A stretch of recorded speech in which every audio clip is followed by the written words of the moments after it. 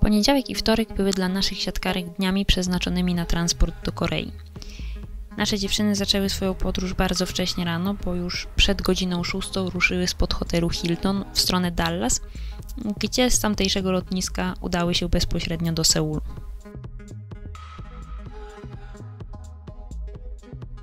Na lotnisku nasze siatkarki przyjęły zastrzyki na rozrzedzenie krwi, które miały pomóc zapobiec powstawaniu zakrzepów podczas długich podróży lotniczych. Niestety nie każda z naszych dziewczyn miała na tyle odwagi, żeby jakoś bezstresowo przez to przebrnąć. Moni, jesteś, wiesz, głównym tutaj dragerem.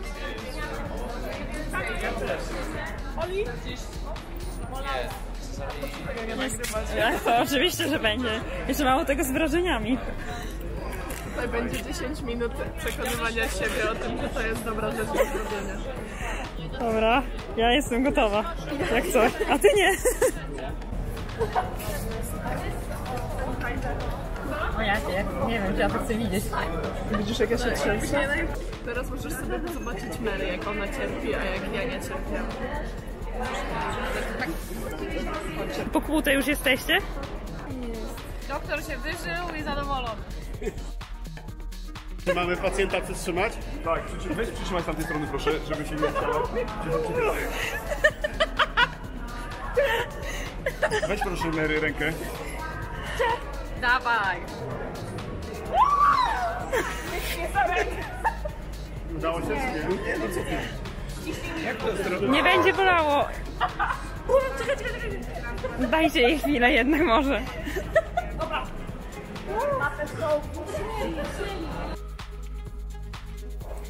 W samolocie spędziliśmy łącznie ponad 14 godzin, co pod koniec podróży dawało się trochę we znaki.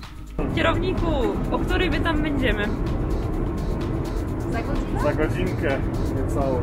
A czasu lokalnego będzie to godzina? 16.40. A czasu polskiego 9.40. USA jedna, je, pierwsza Druga 40. 40. Nie, a druga 40, tak, za godzinę. No Nie jest elegancko. źle, na 14 Można się pomylić. Spaliście, nie spaliście, sobie Wangenowi. Nie spała.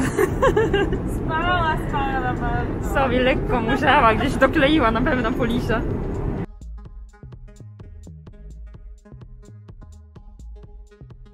No i jak tam? Pierwsze koreańskie wrażenie. Znowu maseczki, no. Maseczki, maseczki, ale spoko, ciepło jest fajnie, więc... Można w maseczkach jeszcze się dogrzeć.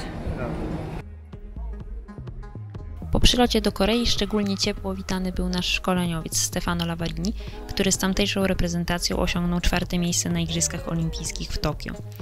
Na naszego trenera czekali nie tylko przedstawiciele Koreańskiego Związku Piłki Siatkowej, ale również liczne upominki, w tym chociażby lalka przedstawiająca podobiznę naszego trenera. Oprócz tego na lotnisku czekały nas jeszcze testy covidowe, a zaraz po nich bezpośredni transport do naszego hotelu. W hotelu z kolei dostaliśmy kolację, może bardziej w amerykańskim stylu, ale niezwykle smaczną.